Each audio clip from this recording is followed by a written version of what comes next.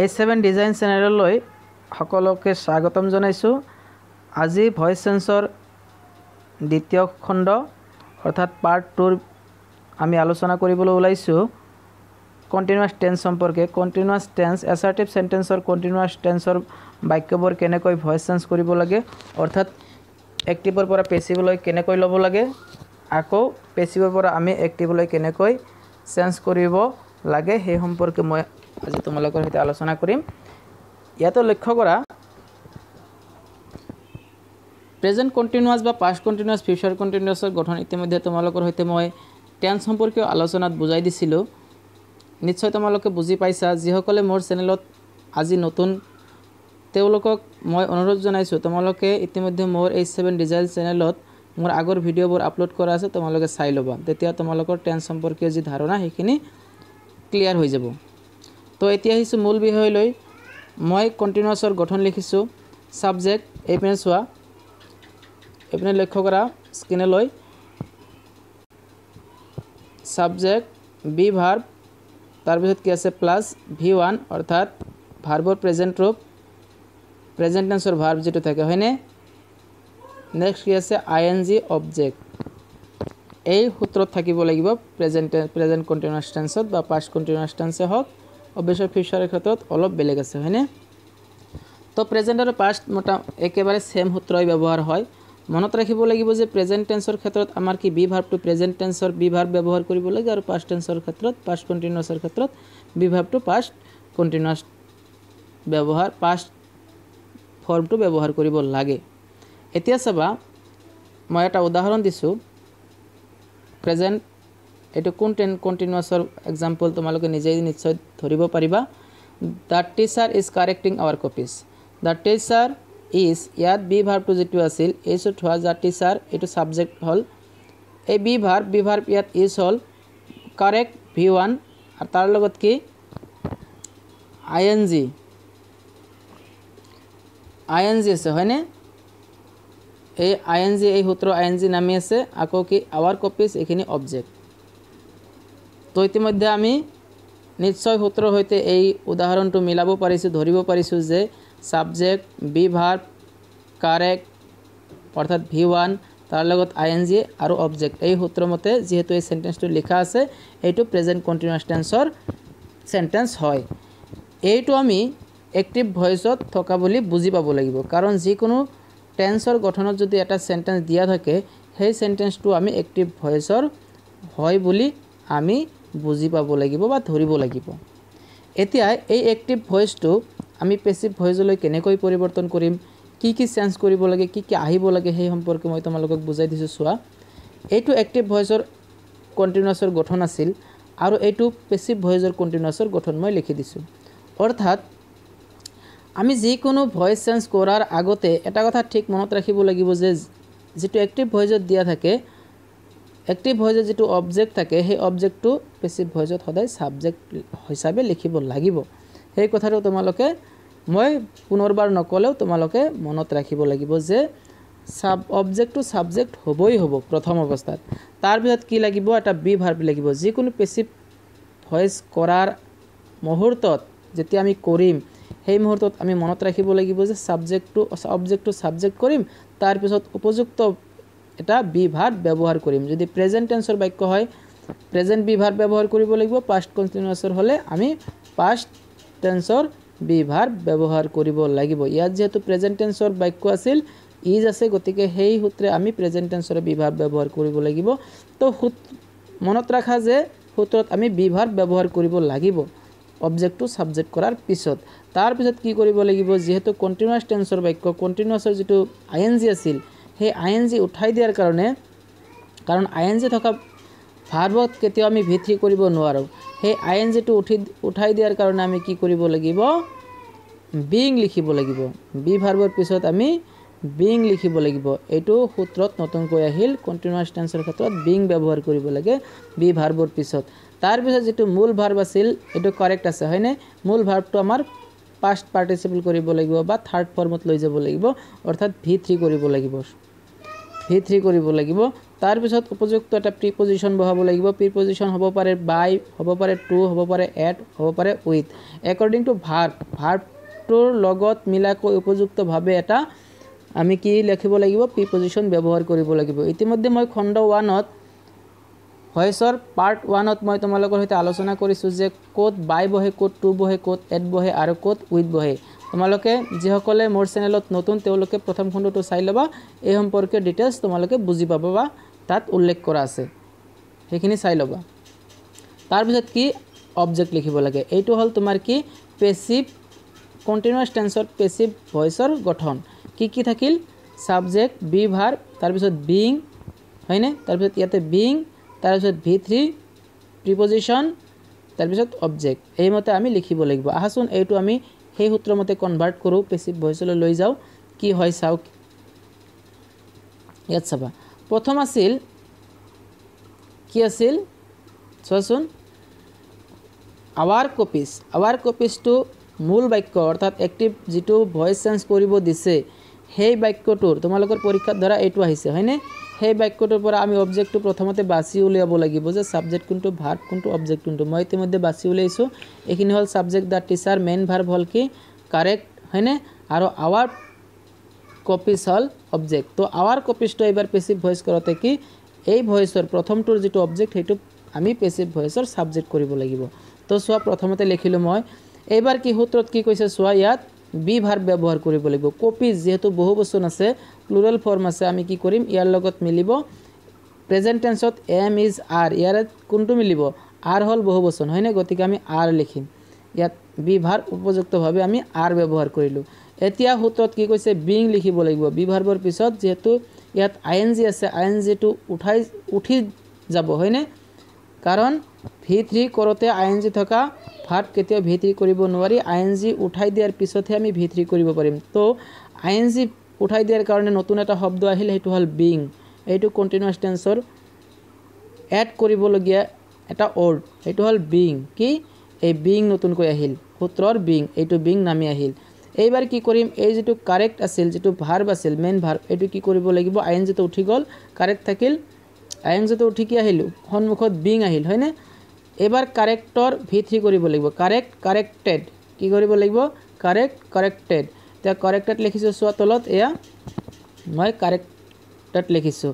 বাকী কি কৰিব লাগিব? ইয়াত বাই লিখিব লাগিব প্ৰিপজিশ্যন এটা ব্যৱহাৰ কৰিব লাগিব বাই বায়ো মই ব্যৱহাৰ কৰিছোঁ ইয়াত চোৱা এই বাই ইয়াৰ পৰা প্ৰিপজিশ্যন ব্যৱহাৰ কৰিছিলোঁ। এইবাৰ কি কৰিব লাগিব? এই যিটো মূল চেণ্টেঞ্চ চেণ্টেঞ্চৰ যিটো ছাবজেক্ট আছিল সেই ছাবজেক্টটো মই কি কৰিব লাগিব? পেচিভ ভইচৰ অবজেক্ট কৰিব লাগিব। যিটো ছাবজেক্ট আছিল সেইটো মই অবজেক্টৰ ঠাইত লিখিছোঁ। দ্য টিচাৰটো ইয়াত অবজেক্ট লিখিছোঁ। এইবাৰ আমাৰ কি পেচিভৰ পৰা এক্টিভৰ পৰা পেচিভ কনভাৰ্ট হৈ গ'ল পৰিৱৰ্তন কৰা হৈ গ'ল।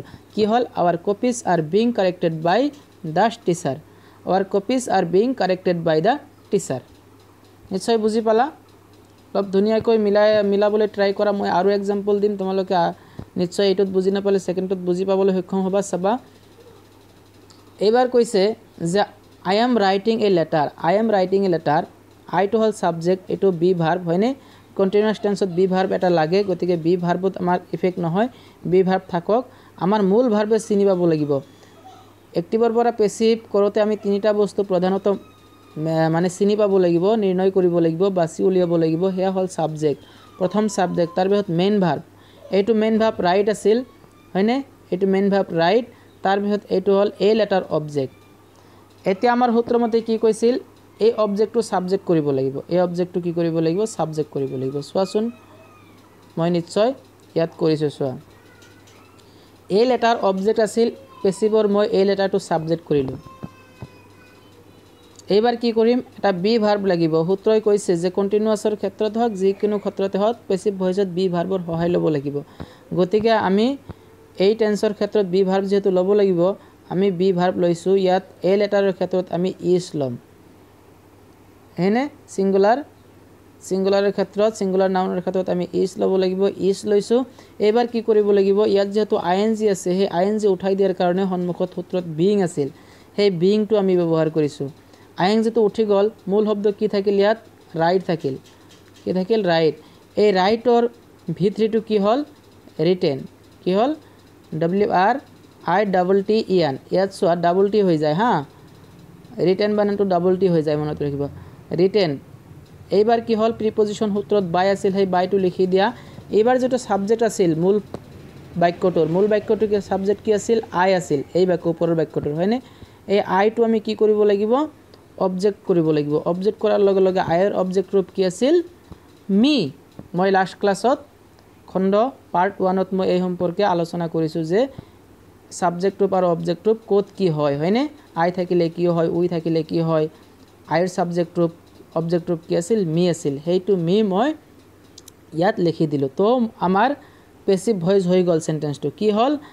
A letter is being written by me a letter is being written by me তো সূত্ৰমতে আমাৰ কি? ধুনীয়াকৈ পেচিভ ভইচৰ সূত্ৰমতে মিলি গ'ল।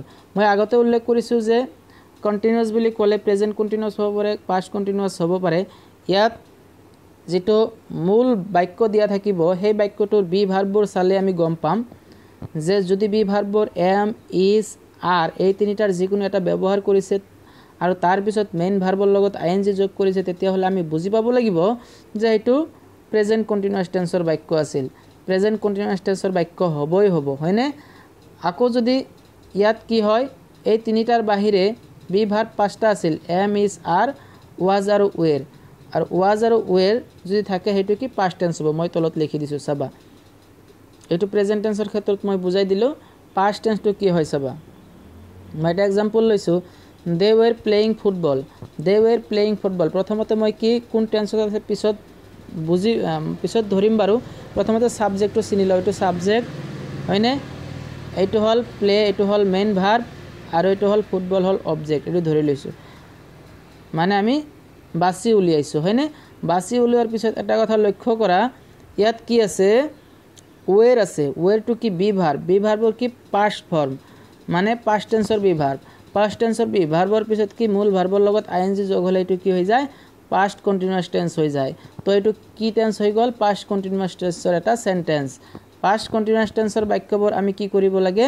পেচিভ কৰোঁতে বাকীবোৰ নিয়ম একেই থাকে। ছাবজেক্টটোতো অবজেক্ট অবজেক্টটোতো ছাবজেক্ট কৰিবই লাগিব। ইয়াত অবজেক্টটো কি আছিল? হা? অবজেক্টটো ফুটবল আছিল। এই ফুটবলটো মই ছাবজেক্ট কৰিছোঁ। পেচিভ কৰিম এতিয়া। পেচিভ কৰাৰ সময়ত কি কৰিব লাগিব আমি? এই ফুটবলটো এইবাৰ অবজেক্ট আছিল মই প্ৰথমতে ছাবজেক্ট কৰিলোঁ। ছাবজেক্ট কৰাৰ পিছত কি কৰিছোঁ? চোৱা এইবাৰ ইয়াত দে বহু বচন আছিল। ইয়াত দে প্লুৰেল আছিল গতিকে ৱেৰ ব্যৱহাৰ কৰিছিল। ফুটবল হ'ল ছিংগুলাৰ গতিকে আমি ৱেৰ ব্যৱহাৰ নকৰোঁ এইবাৰ কি কৰিম? ৱাজ ব্যৱহাৰ কৰিম। কিন্তু পাষ্ট টেন্সতে ব্যৱহাৰ কৰিব লাগিব। কিয় এইটো পাষ্ট টেন্সৰ বাক্য আছিল না? এইটো পাষ্ট টেন্সৰে বিভাৰ ব্যৱহাৰ কৰিব লাগিব। পাষ্ট হ'লে পাষ্ট প্ৰেজেণ্ট হ'লে প্ৰেজেণ্ট কৰিলোহেঁতেন হয়নে? তো আমি কিন্তু কেৱল এই যে ছাবজেক্ট অনুযায়ী লিখিব লাগিব। ইয়াত ছিংগুলাৰ আছিল গতিকে ৱাজ লিখিলোঁ। ইয়াত প্লুৰেল আছিল ৱেৰ লিখিছিল। তো ইয়াত যদি ছিংগুলাৰ প্লুৰেল সেই বস্তুটো আমি কি চিনি পাব লাগিব? তো ৱেৰ ৱাজ লিখিলোঁ। ফুটবল ৱাজ বি ভাৰ্ব লাগে। মই কৈছোঁ পেচিভ ভইচত ছাবজেক্টৰ পিছত বি ভাৰ্ব ব্যৱহাৰ কৰিব লাগে। মই ব্যৱহাৰ কৰিলোঁ ইয়াত। হয়নে? এইবাৰ বি ভাৰ্ব গ'ল। এইবাৰ কি কৰিব লাগিব? যিহেতু আই এন জি থকা বাক্যত মই কি কৈছিলোঁ? বিং ব্যৱহাৰ কৰিব লাগে। বি ভাৰ্বৰ পিছত কি কৰিব লাগে? বিং। বিং ব্যৱহাৰ কৰাৰ লগে লগে এই আই এন জি ইয়াৰ পৰা নোহোৱা হৈ গ'ল। ভাৰ্বটো কি থাকিল? প্লে। প্লেৰ ভি থ্ৰী কি হৈ গ'ল? প্লেৰ ভি থ্ৰী কি হ'ব? মানে পাষ্ট পাৰ্টিচিপল ৰূপ কি হৈ যাব? প্লেড হৈ যাব। এইটো ভি থ্ৰী হয়নে? প্লে আছিল ভি ওৱান এইটো কি হৈ গ'ল? ভি থ্ৰী হৈ গ'ল। এইবাৰ চোৱা প্ৰি পজিশ্যন এটা লাগে বাই এইখিনিলৈ হৈ গ'ল। এতিয়া এই মূল বাক্যটোৰ কি চাব লাগিব? ছাবজেক্টটো অবজেক্ট কৰিব লাগিব। বাইৰ পিছত প্ৰিপজিশ্যন বহুৱাৰ পিছত। এতিয়া এইটো কি চোৱা? দে আছিল। দেৰ অবজেক্ট ফৰ্ম কি হ'ব? দেম লাষ্ট ক্লাছত মই চাৰ্টত বুজাই দিছোঁ। যিসকলে মোৰ লাষ্ট ক্লাছ চোৱা নাছিলে তেওঁলোকে চাই ল'বা। এইচ ছেভেন ডিজাইন চেনেলটো ছাবস্ক্ৰাইব কৰিবা। সকলো ভিডিঅ' তোমালোকে কি সময়মতে পাই থাকিবা হা? তো মই আগতে আলোচনা কৰিছোঁ ইয়াত চোৱা ৱাজ ৱেৰ ৱাজ ৱেৰ বহাৰ লগে লগে যদি কোনো বি ভাৰ্ব ৱাজ আৰু ৱেৰ এই দুটাৰ যিকোনো এটা বহিছে তেতিয়া তাৰ পিছত যদি কি বহিছে আই এন জি বহিছে ভাৰ্বৰ লগত আই এন জি বহিছে সেইটো আমি কণ্টিনিউৱাছ টেন্সৰে বাক্য বুজি পাম কিন্তু কিহৰ কণ্টিনিউৱাছ পাষ্ট কণ্টিনিউৱাছ কাৰণ এই বি ভাৰ্বটো হ'ল পাষ্ট টেন্সৰ বি ভাৰ্ব পাষ্ট টেন্সৰ বি ভাৰ্ব ব্যৱহাৰ হ'লে আমি পাষ্ট কণ্টিনিউৱাছ বুলি বুজি পাব লাগিব যেতিয়া আমাৰ ইয়াৰ পিছত মেইন ভাৰ্বৰ লগত আই এন জি যোগ হয়। অৰ্থাৎ পাষ্ট কণ্টিনিউৱাছৰ সূত্ৰত যেতিয়া পৰে টেন্সত মই এই সম্পৰ্কে ধুনীয়াকৈ তোমালোকক বুজাই দিছোঁ। তো এইটো মই কি কৰিম? ছাবজেক্ট অবজেক্ট এইটো এক্টিভ ভইচৰ যিকোনো টেন্সত টেন্সৰ গঠনত পৰাৰ লগে লগে এক্টিভ ভইচত থাকে। মই আগতেও কৈছোঁ আজিও তোমালোকক আকৌ কৈ দিছোঁ ইয়াৰ অবজেক্টটো ফুটবল ফুটবলটো মই ধুনীয়াকৈ লিখিছোঁ ৱাজ লিখিছোঁ তাৰপিছত কি এই আই এন জি উঠাৰ কাৰণে বিং লিখিছোঁ তাৰপিছত এইটো কি থাৰ্ড ফ্ৰম প্লেট লিখিছোঁ বাই দেম হয়নে? দেৰ অবজেক্টটো দেম হৈ গ'ল আমাৰ পেচিভ ভইচ এনেকুৱাকৈ কি কৰিব লাগিব আমি? আৰু এটা দিছোঁ চাবা পাষ্ট টেন্সৰ আৰু এটা দিছোঁ। He was writing a letter he was writing a letter এইবাৰ চোৱা আমাৰ কি পাষ্ট কণ্টিনিউৱাছৰ গঠনত আছে বাক্যটো। Subject be verb past form তাৰপিছত মেইন ভাৰ্বৰ লগত আই এন জি অবজেক্ট তো আমি চিনি পাইছোঁ পাষ্ট কণ্টিনিউৱাছ টেন্সৰ গঠনত আছে। ইয়াতে আমি ছাবজেক্ট মেইন ভাৰ্ব আৰু অবজেক্টটো আমি বাছি উলিয়াইছোঁ। এইবাৰ কি পেচিভ ভইজত থকা বুলি আমি এক্টিভ ভইজত থকা বুলি এই বাক্যটো আমি বুজি পাব লাগিব কাৰণ এইটো কণ্টিনিউৱাছ টেন্সৰ গঠনত আছে পাষ্ট কণ্টিনিউৱাছ টেন্স যি যিহেতু পাষ্ট কণ্টিনিউৱাছ বা যিকোনো কণ্টিনিউৱাছ টেন্সৰ ক্ষেত্ৰতে হওক বা অন্য ক্ষেত্ৰতে হওক আমি প্ৰথমতে কি কৰিব লাগিব? অবজেক্টটো ছাবজেক্ট কৰিব লাগিব এ লেটাৰ এতিয়া এই এইটো কি কেপিটেল কৰিব লাগিব? এইটো বাক্য লিখাৰ নিয়ম যে বাক্যৰ আৰম্ভণিতে সদায় কেপিটেল লেটাৰ লিখিব লাগে। সেই নিয়মটো আমি পাহৰি গ'লে নহ'ব। হা? তো এই লেটাৰটো এই ছাবজেক্টটো চোৱা এই অবজেক্টটো চোৱা মই কি কৰিছোঁ? এই অ' টু এছ কৰি দিলোঁ হয়নে? মই অ' টু এছ কৰি দিলোঁ। তলত মই লিখি দিছোঁ চোৱা। অ' আছিল কিন্তু সেইটো কি হৈ গ'ল? এছ হৈ গ'ল। অৰ্থাৎ অবজেক্টটো মই কি কৰিলোঁ? ছাবজেক্ট কৰিলোঁ। এইবাৰ নিয়মতে কি কৈছিল কণ্টিনিউৱাছৰ গঠনত? ছাবজেক্টৰ পিছত এটা বি ভাৰ্ব লাগিব। তো বি ভাৰ্ব এটা বহাইছোঁ এই লেটাৰ ছিংগুলাৰ হয়নে? ছিংগুলাৰ নাউন আমি ৱাজ ব্যৱহাৰ কৰিম ৱাজ ব্যৱহাৰ কৰিছোঁ বি ভাৰ্ব এইবাৰ কি এই যে আই এন জি আছে আই এন জি তুলি দিয়াৰ কাৰণে কি ব্যৱহাৰ কৰিব লাগিব? বিং ব্যৱহাৰ কৰিব লাগিব। অৰ্থাৎ সূত্ৰ যদি আমি মুখস্থ কৰি লওঁ তাতো কি আছে? বি ভাৰ্বৰ পিছত বিং লিখিব লাগিব কণ্টিনিউৱাছ টেন্সৰ ক্ষেত্ৰত। তো আমি বিং লিখিছোঁ তাৰপিছত যিহেতু বিং লিখাৰ লগে লগে আই এন জি নোহোৱা হৈ যায় মূল বাক্যটো কি হৈ গ'ল এতিয়া? ৰাইট হয়নে? ৰাইটিঙৰ মূল বাক্যটো আমি চাব লাগিব ৰাইট আছিল। এই ৰাইটৰ ভি থ্ৰী কি আছিল? অৰ্থাৎ পাষ্ট পাৰ্টিচিপল ৰূপ কি হ'ব? ৰিটেন কি হ'ব? ৰিটেন এই ৰিটেন আমি বনালোঁ তাৰপিছত উপযুক্তভাৱে ইয়াত বাই খাটিব যিহেতু অন্যবোৰৰ ক্ষেত্ৰত যিসকল অন্য এড উইথ ন' টু এই ভাৰ্ববোৰ ইয়াৰ ব্যৱহাৰ হোৱা নাই। গতিকে আমি বাই ব্যৱহাৰ কৰিব লাগিব বাই ব্যৱহাৰ কৰিছোঁ। এতিয়া এই যে মূল ছাবজেক্ট আছিল মূল বাক্যটো অৰ্থাৎ যিটো দিয়া আছিল পৰীক্ষাত চেঞ্জ কৰিব দিছে সেই বাক্যটোৰ ছাবজেক্টটো কি আছিল? হি সেইটো কি কৰিব লাগিব এইবাৰ? অবজেক্ট কৰিব লাগিব। যিটো ছাবজেক্ট আছিল সেইটো ছাবজেক্ট কি কৰি কাটি কি কৰিব লাগিব? অবজেক্ট কৰিব লাগিব। অৰ্থাৎ ছাবজেক্টটো অবজেক্টৰ ঠাইত লৈ আহিব লাগিব। যেতিয়া ছাবজেক্ট হিটো অবজেক্ট হৈ যায় তেতিয়া কি হৈ যায়? সেইটো হিম হৈ যায়। নিশ্চয় বুজি পালা? কেনেকৈ হৈ যায়? এতিয়া কি কৰিলোঁ এই letter was being written by him এই letter was being written by him এইটো এক্টিভৰ পৰা পেচিভ হৈ গ'ল। এই ওপৰৰ বাক্যটো he was writing a letter he was writing a letter এইটো কি কণ্টিনিউৱাছৰ পৰা এইটো কণ্টিনিউৱাছৰ পেচিভ আমি কৰিলোঁ। এনেকুৱাকৈ আমি লিখিব লাগিব। তো পৰীক্ষাত যে কেৱল এক্টিভৰ পৰা পেচিভে আহিব এনেকুৱা নহয় পেচিভৰ পৰা এক্টিভো কৰিব দিব পাৰে। দিব পাৰে মানে দিয়ে হা? এইবাৰ চোৱা আমি যিহেতু কণ্টিনিউৱাছৰ ক্ষেত্ৰত পেচিভৰ সূত্ৰ কি পাইছিলোঁ? যে ছাবজেক্ট আছিল ছাবজেক্টটো অবজেক্ট কৰিছিলোঁ কৰাৰ পিছত যিটো আমি পালোঁ। গঠনটো কি হৈছিল? ছাবজেক্টৰ পিছত কি হৈ গ'ল? বি ভাৰ বাঢ়িল তাৰপিছত এটা বিং লিখিব লাগে তাৰপিছত কি ভিত্তি থাকে তাৰপিছত বাই থাকে আৰু অবজেক্ট থাকে। এনেকুৱা ফৰ্মত যদি দিয়া থাকে অৰ্থাৎ কণ্টিনিউৱাছৰ যিটো গঠন সেই গঠনৰ কণ্টিনিউৱাছৰ পেচিভ ভইচৰ যি গঠন সেই গঠনত যদি কোনো বাক্য দিয়া থাকে আমি ধৰিব পাৰিব লাগিব যে এইটো কি কণ্টিনিউৱাছৰ গঠনত থকা পেচিভ ভইচৰ বাক্য হয়। আৰু তেতিয়া আমি কি কৰিব লাগিব সেই এক্টিভলৈ কনভাৰ্ট কৰিব লাগিব। ধৰি লোৱা তুমি এক ঠাইত গৈছা এঠাইত গৈছা যে ৰাস্তা তুমি চিনি নোপোৱা সুধি সুধি গৈছা যে এনেকুৱাকৈ তুমি কি এনেকুৱা এনেকুৱা এনেকুৱা গৈ গৈ গৈ গৈ তুমি যাব লাগিব। শিল পেলাই পেলাই থৈ গৈছা। হয়নে? মাজে মাজে কিবা কিবি চিন দিয়াৰ কাৰণে কিবা কিবি তুমি থৈ গৈছা। এতিয়া তুমি কি যেতিয়া ঘৰত আহিবা নিশ্চয় কি তোমাৰ বস্তুখিনি তুমি লৈ লৈ লৈ লৈ আকৌ তুমি কি সেই বাটেৰে উভতি আহিবা হয়নে? তো আমি যি যেনেকৈ আমি এক্টিভৰ পৰা পেচিভ কৰিছোঁ ঠিক তেনেকৈ আমি যি যি বস্তু এক্টিভৰ পৰা পেচিভ কৰোঁতে যোগ কৰিছিলোঁ সেইখিনি বস্তু আমি উঠাই দিম। সেইখিনি বস্তু উঠাই দি আগৰ যি ৰূপ আছিল সেই ৰূপলৈ আমি ঘূৰাই পঠিয়াব লাগিব। অৰ্থাৎ আমি যদি কণ্টিনিউৱাছৰ পেচিভ ভইচ আছে আমি মূল কণ্টিনিউৱাছৰ বাক্যলৈ উভতাই যাব উভতি যাব লাগিব। ঠিক একে নিয়ম এইটোতো এক্টিভৰ পৰা পেচিভ কৰোঁতেও যেনেকুৱা ছাবজেক্টৰ পৰা subject to object object to subject যি নিয়ম আছিল সেই নিয়মটো আমি পেচিভৰ পৰা এক্টিভৰ ক্ষেত্ৰতো আমি প্ৰয়োগ কৰিম। এইটো অবজেক্ট অবজেক্টটো কি হ'ব? ছাবজেক্ট হ'ব। পেচিভৰ পৰা এক্টিভ কৰি আছোঁ চাবা। তো আমি কি বি ভাৰ্ব কণ্টিনিউৱাছৰ ক্ষেত্ৰত আমি কি বি ভাৰ্ব লাগে? আমি কেনেকৈ গম পাম যে এইটো কণ্টিনিউৱাছৰ বাক্য হয়? এই যে চোৱা এই যিটো বেছি ভইচৰ বাক্য দিয়া থাকিব সেই বাক্যটো যদি বিং থাকে বিঙৰ পিছত যদি ভি থ্ৰী থাকে এই বিং মানে কি? বিঙত আমি বুজি পাব লাগিব সেইটো আই এন জি আছিল ভি ওৱানৰ লগত আই এন জি আছিল। অৰ্থাৎ আমি কি কৰিব লাগিব? তেতিয়া কণ্টিনিউৱাছৰ বাক্যটো বুজি বুজি পাবই লাগিব। কণ্টিনিউৱাছৰ বাক্য হয় এইটো। সেইটো সেই তেতিয়া আমি কি কণ্টিনিউৱাছৰ যি গঠন আছিল কি গঠন আছিল? ছাবজেক্ট প্লাছ ভি ভাত plus V one plus I N G হয়নে? সেইমতে আমি পেলাই দিম। ইয়াত কি ভি থ্ৰীত যিটো আছিল সেইটো ভি ওৱান কৰিব লাগিব। ভি থ্ৰীত কি ধৰি লোৱা ৰিটেন আছিল। ৰিটেনটো কি? ভি ওৱান ৰাইট আমি ৰাইট লিখিব লাগিব হয়নে? তলত মই এক্সাম্পল দিছোঁ। জাষ্ট মই সূত্ৰটো মই ইয়াত লিখি দিছোঁ চাবা। তো কি? এইটো ভি ওৱান কৰিব লাগিব তাৰপিছত আই এন জি অবজেক্ট একেবাৰে কণ্টিনিউৱাছৰ যিটো যিটো চেণ্টেঞ্চৰ যিটো টেন্সৰ বাক্য ভইচ কৰা পেচিভ কৰা হৈছিল সেই চেণ্টেঞ্চটো সেই টেন্সলৈ ৰূপান্তৰ কৰিব লাগিব মূল টেন্সলৈ যাব লাগিব। তেতিয়াই আমি কি সেই সূত্ৰমতে লিখি গ'লে হৈ গ'ল। চাবাচোন এক্সাম্পল দিছোঁ বুজি পাবা ধুনীয়াকৈ।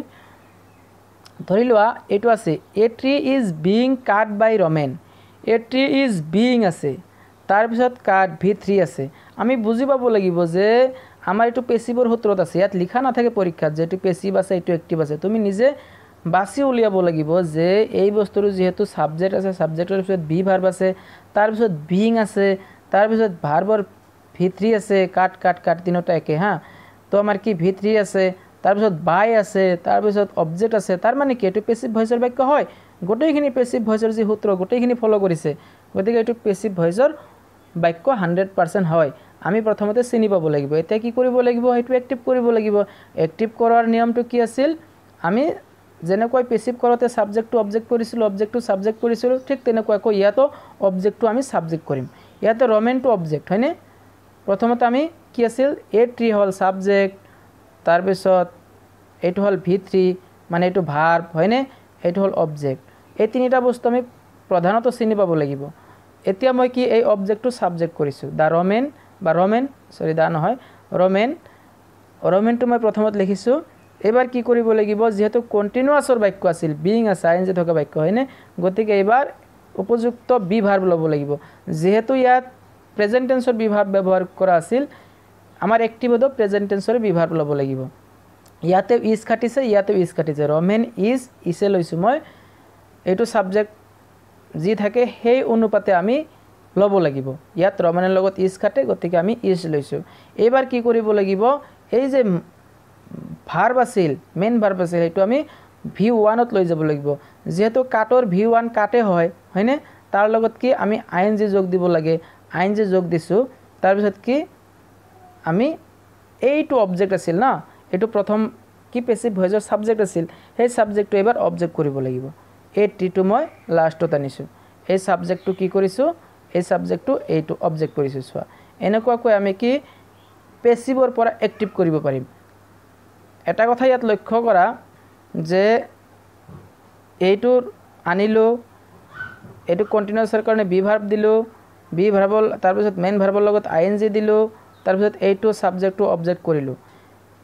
কৰাৰ পিছত আমি যদি কনফিউজনত পৰোঁ যে আমাৰ হ'ল নে নাই আমি এই বাক্যটো যেতিয়া আকৌ পেচিভ কৰি দিম এই বাক্যটো আকৌ যেতিয়া পেচিভ কৰিম যদি আমি এইটো আকৌ পাই যাওঁ এইটো যদি আমি পাই যাওঁ তেতিয়াহ'লে তুমি নিজেই গম পাবা যে এইটো শুদ্ধ হৈছে। কেনেকৈ এইটো ধৰা হৈছিলে আমি প্ৰুভ কৰিম। প্ৰুভ কেনেকৈ কৰিম? এইটো পেচিভ কৰোঁতে এইটো ছাবজেক্ট অবজেক্ট হয়নে? ইয়াত কি ছাবজেক্ট হ'ব। এবাৰ কি কৰিব লাগে? বি ভাৰ্ব ল'ব লাগে। বি ভাৰ্ব লৈছোঁ তাৰপিছত কি কৰিব লাগে? আই এন জি থকাৰ কাৰণে আমি বিং ল'ব লাগে। বিং লৈছোঁ।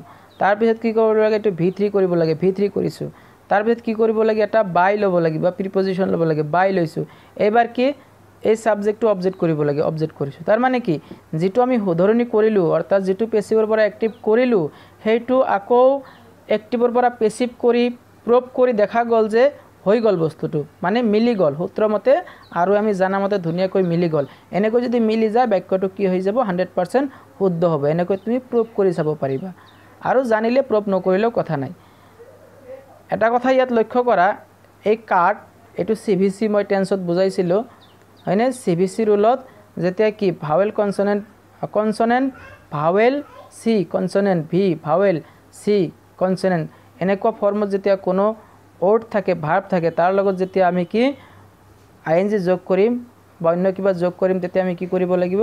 এই লাষ্টৰ আখৰটো ডাবল হৈ যাব অৰ্থাৎ টি কাট লাষ্টৰ আখৰ চি ইউ টি আছিল হয়নে? এইটো ডাবল হৈ যায়। এই কথাটো মই টেন্স শিকোৱাৰ সময়তো তোমালোকক সৈতে আলোচনা কৰিছিলোঁ। সেইকাৰণে ইয়াত কি? কাটটো double T I N G হৈছে। ডাবল টি লিখাৰ পিছতহে আই এন জি হৈছে। এইটো যাতে তোমালোকে ভুল নকৰা। তো নেক্সট আৰু এটা পেচিভৰ পৰা মই এক্টিভ কৰাৰ কাৰণে তোমালোকক এক্সাম্পল দি বুজাই দিছোঁ চাবা। Football is being played by us এইটো চোৱা প্ৰথম কথা হ'ল প্ৰেজেণ্ট টেন্সৰ বাক্য। ইয়াত যিহেতু বিং আছে বিং ক'ত ব্যৱহাৰ হয়? প্ৰেজেণ্ট কণ্টিনিউৱাছ টেন্সত আমি বিং ব্যৱহাৰ কৰিছিলোঁ পেচিভ ভইচৰ ক্ষেত্ৰত। গতিকে বিঙে কৈ দিলে এইটো কণ্টিনিউৱাছ টেন্সৰ অৰ্থাৎ আই এন জি যোগ হোৱা ভাৰ্ব আছিল। এতিয়া আমি এক্টিভ কৰোঁতে আই এন জি যোগ কৰিব লাগিব হয়নে? তো প্লেট এইটো এইটো হ'ল ভাৰ্ব বিঙৰ পিছতে যিটো থাকে সেইটো ভাৰ্ব ভি থ্ৰীত আছিল। পেচিভত ভি থ্ৰী থাকে হয়নে? এইবাৰ চোৱা এইখিনি হ'ল অবজেক্ট বাৰ পিছত যিখিনি আছে সেইখিনি অবজেক্ট এইবাৰ কি কৰিম? এক্টিভ কৰোঁতে অবজেক্টটো ছাবজেক্ট কৰিব লাগে হয়নে? অবজেক্টটো ছাবজেক্ট আছ আছৰ ছাবজেক্ট ৰূপ কি আছিল? উই। অলৰেডি ফাৰ্ষ্ট ক্লাছত আলোচনা কৰিছোঁ হয়নে? উই এই আছটো ছাবজেক্ট হ'লে আমাৰ উই হৈ যায়। তাৰপিছত কি উইৰ লগত কি খাটিব? যিহেতু কণ্টিনিউৱাছ টেন্সৰ বাক্য বি ভাৰ্ব এটা লাগিব। লগে লগে এইটো চাই আমি গম পাইছোঁ কণ্টিনিউৱাছ টেন্সৰ হয়নে? আৰু এইটো চাই গম পাইছোঁ প্ৰেজেণ্ট কণ্টিনিউৱাছ যিহেতু প্ৰেজেণ্ট টেন্সৰ বি ভাৰ্ব আছিল।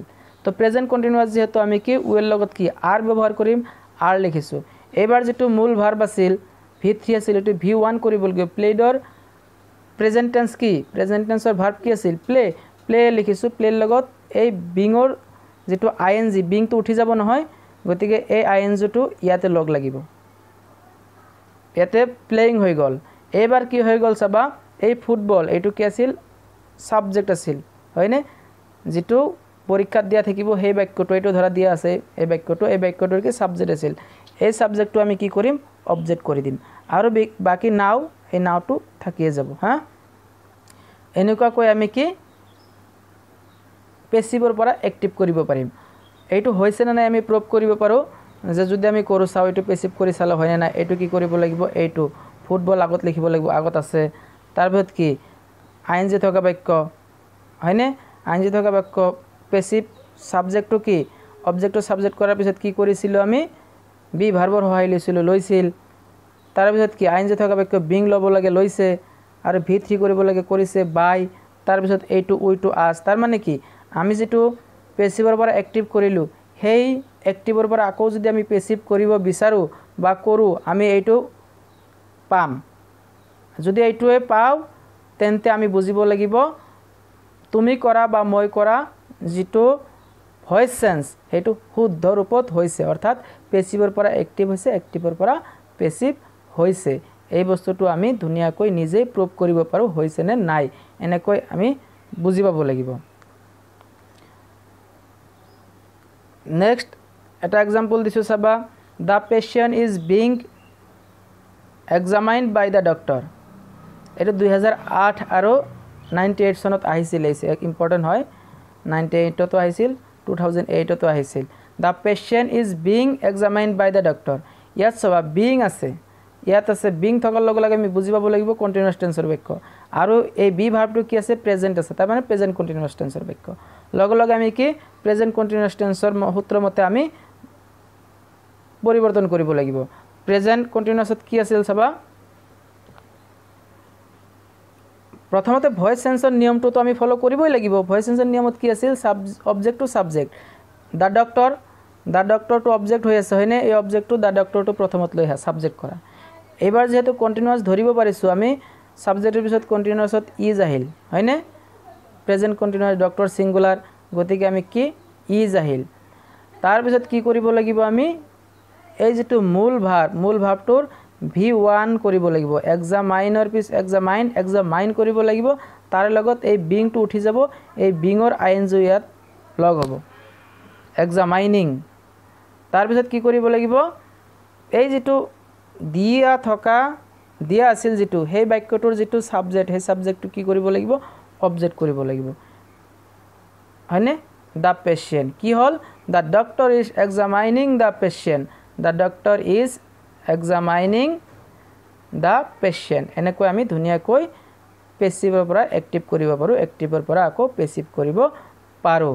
আমি ফিউচাৰৰ ক্ষেত্ৰতো ঠিক তেনেকুৱা আমাৰ কেৱল সূত্ৰটো মই লিখি দিছোঁ ইয়াত। আজি আৰু আলোচনা নকৰোঁ। ফিউচাৰটো কেৱল কি আছিল? ফিউচাৰৰ মূল কণ্টিনিউছৰ সূত্ৰটো আমি মনত ৰাখিব লাগিব। ফিউচাৰত কি আছিল? শ্বেল উইল ব্যৱহাৰ হয় ছাবজেক্টৰ পিছত। Subject shall will be V one I N G হয়নে? ঠিক তেনেকুৱাকৈ এইটো আমি অবজে পেচিভ ভয়েজত ছাবজেক্ট শ্বেল উইল থাকিব বি থাকিব। কাৰণ ইয়াততো আৰু এম ইজ আৰু ৱাজ ৱেৰ ব্যৱহাৰ নহয় ইয়াত বি এ ব্যৱহাৰ হয়। হয়নে? বি থাকিব আৰু আই এন জি উঠি যোৱাৰ কাৰণে বিং হ'ব তাৰপিছত ভি থ্ৰী হ'ব তাৰপিছত বাই হ'ব অবজেক্ট হ'ব ছেম একে কেটেগৰীত লাগে মই নেক্সট ক্লাছত কি এক্সাম্পল দুই এটা দি দিম হা? এতিয়া তোমালোকৰ কাৰণে মই কিছুমান গৃহকৰ্ম লৈ আহিছোঁ হোমৱৰ্ক লৈ আহিছোঁ। সেই হোমৱৰ্কখিনি তোমালোকে কৰি মোৰ হোৱাটছআপ নম্বৰত শ্বেয়াৰ কৰিব লাগিব। তেতিয়াহে মই কি নেক্সট ক্লাছ বনাবলৈ মানে প্ৰস্তুত কৰিব পাৰিম। আৰু মই বুজি পাম যে মোৰ ক্লাছ চাই তোমালোকে নিশ্চয় উপকৃত হৈছা। তেতিয়া মই আকৌ নতুন নতুন ভিডিঅ' বনাবলৈ চেষ্টা কৰিম বা বনাম হা? চাবা এক্সাম্পল চাবা কিছুমান হোমৱৰ্ক দিছোঁ হা? চেঞ্জ দ্য ভইচ কি কৰিব লাগিব? I am eating rice now I am eating rice নাও কোন টেন্সত আছে কোন ভইচত আছে তুমি বাছি উলিয়াব লাগিব। আৰু সেইমতে এক্টিভত থাকিলে পেচিভ কৰা পেচিভত থাকিলে এক্টিভ কৰা চিলড্ৰেন আৰ ফ্লাইং কাইটছ তাৰপিছত কি কৈছে চি ইজ ৱাশ্বিং ক্লথেছ হয়নে food is being cooked by the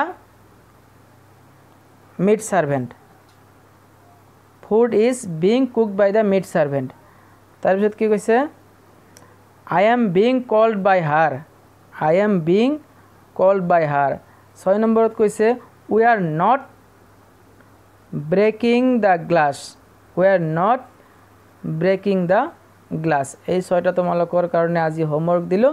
তোমালোকে এতিয়াই ভিডিঅ'টো চাই এতিয়াই হোমৱৰ্কখিনি কৰি মোৰ হোৱাটছআপ নম্বৰত শ্বেয়াৰ কৰা। হোৱাটছআপ নম্বৰটো হ'ল ডাবল এইট মই লিখি দিছোঁ।